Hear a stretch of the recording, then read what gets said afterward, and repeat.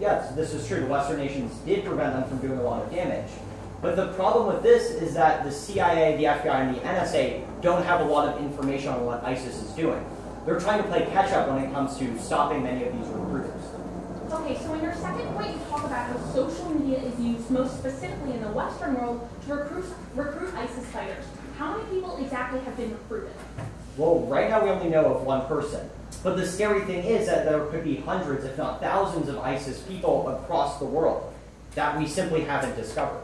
Okay, so are you suggesting that ISIS will spread into the Western world, or merely that some Westerners will go to ISIS? No, what I'm suggesting is the ability of ISIS to spread through uh, through social media, and through that they pose a direct threat to Western countries because they were can they can recruit Western citizens. Okay, but only a few have been recruited and many have returned, how is this going to impact the West?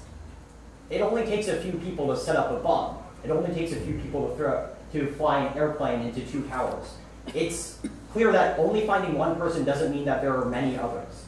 Okay, in your third point, you talk about how the coalition has failed so far. Is it not true that if ISIS is encroaching on other areas, the coalition is going to take steps beyond airstrikes to try to protect themselves? Well, right now it's not necessarily in the U.S.'s interest.